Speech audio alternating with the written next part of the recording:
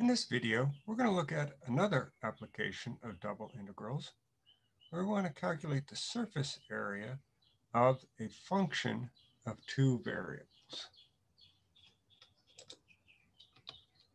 So the idea is we have a surface z equals f of x comma y, and we have a region in the xy plane. And in this case, we're just going to look at a rectangle as the simplest case to derive the formula. And we're going to say, okay, what is the uh, portion of the surface above that region, above that rectangle? We'd like to calculate the area of that portion. So we go ahead and divide up the rectangle in the xy plane into a grid. So we're going to partition the interval AB into uh, n equal uh, parts, and the partition will partition the interval CD into m equal parts, just like we did before. Then we're going to look at just one point. So with coordinates xi, yj, look at that point P on the surface corresponding to that. And we're going to calculate its tangent plane. Why? Because we're going to use that tangent plane approximation to help us get an estimate for the area of this grid cell right here on the surface. So the equation of this tangent line at point P uh, is just the standard equation here. Remember how we found its normal vector?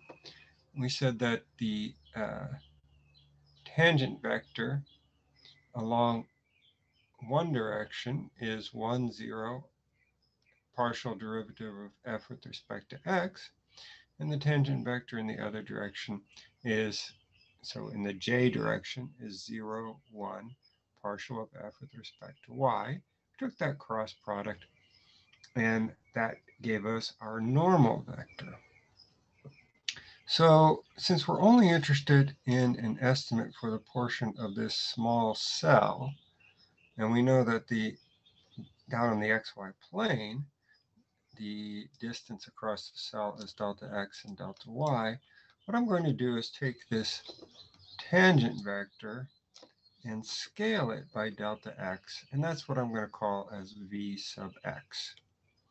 And I'll do something likewise with the tangent vector in the j direction. I'll scale that by delta y. And so the area of this parallelogram, which is determined by the vectors v sub x and v sub y would be an estimate for the area of this patch on the surface. So how would I calculate that? Well, the magnitude of the cross product is the area determined by those two vectors.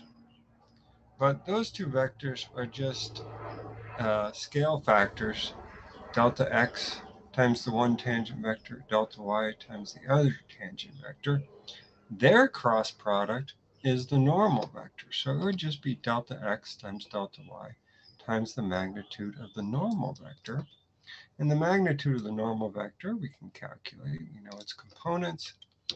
And so that would be radical f sub x squared plus f sub y squared plus 1. And we multiply that times delta x delta y that would be an estimate for the area of the ijth cell of this surface.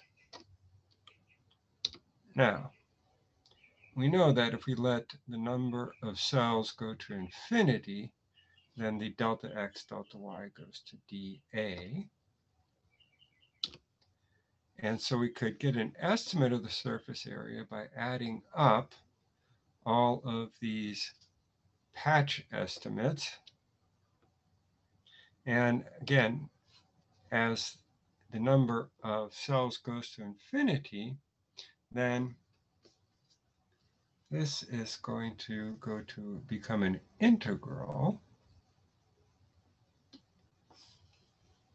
And I forgot my dA, very important there.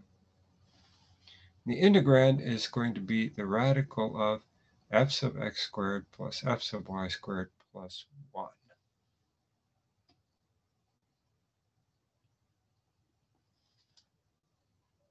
So here we have our formula for the surface area. And that should actually remind us of something. It really looks like a two-dimensional analog to the our arc length formula. In our arc length formula, we just said that the length of the arc is the integral from a to b, and the integrand was the radical of dy dx squared plus 1 dx. So here we have two dimensions. So I have a partial with respect to x squared and then the partial with respect to y squared plus 1, the radical of that. So very similar. Let's look at some examples. Our first example, we're going to calculate the area of the part of the plane with the equation 6x plus 4y plus 2z equals 1 above the rectangle uh, 1 comma 3 by 3 comma 5.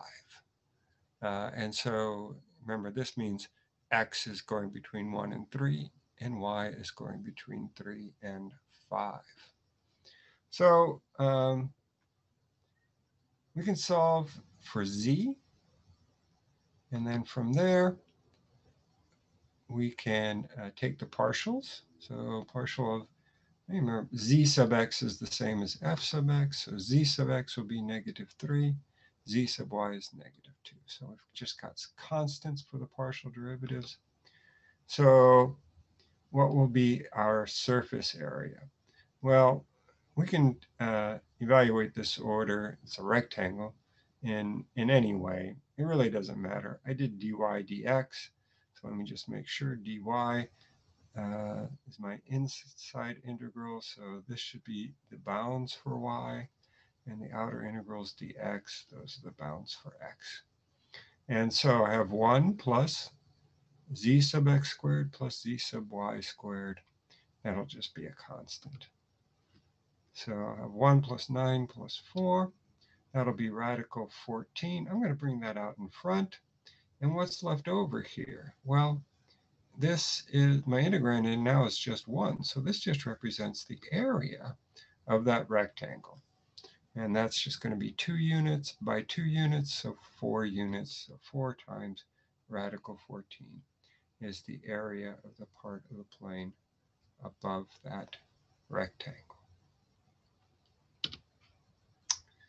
In our next example, we have a sphere and we're going to cut the sphere with the plane z equals 1. And we're only going to be interested in calculating the surface area of the sphere, which is above that plane. All right. Well, first thing we need to know to be able to determine uh, the region in the xy plane is what is the uh, intersection here. So I'm just going to replace z with 1.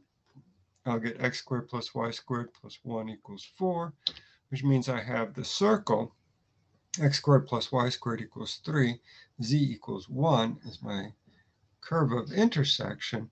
So I just want the corresponding disk in the xy plane. And that's going to be my region D. Now, we need to find that integrand. And so I'm going to suggest a different, slightly different technique to be able to find radical 1 plus z sub x squared plus z sub y squared. Instead of solving for z, I'm going to start with our equation. I'm going to solve for z squared, and I'm going to use implicit partial differentiation with respect to x first. And that's going to give me an expression with x and z, which doesn't seem like I'm going in the right direction, but bear with me. If I do the same thing with the partial, implicit partial differentiation with respect to y, I'll find that partial of z with respect to y is y over z. And then my integrand would be, well, radical x squared over z squared plus y squared over z squared plus 1, but 1 is the same as z squared over z squared. So I've got a common denominator. Let me do some algebra, write it as a single fraction. I know that radical z squared is just going to give me z. And what do I know about x squared plus y squared plus z squared? Well, x squared plus y squared plus z squared is 4. So now in the numerator, I just have radical 4.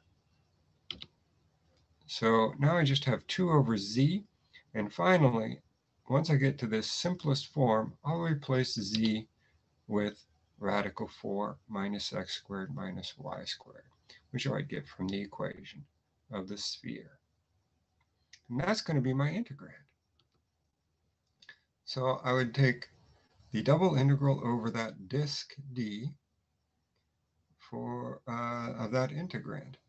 Now, it's a disk with uh, radius radical 3, and I have an integrand that looks like it would be easy to evaluate using polar coordinates. So that's what I'm going to do. My disk uh, here is just a polar rectangle, and when I convert the integrand, I get something simple as well. Now, it's not um, as nice as some of the other uh, integrals we've done with polar coordinates. I do make, need to make a u substitution.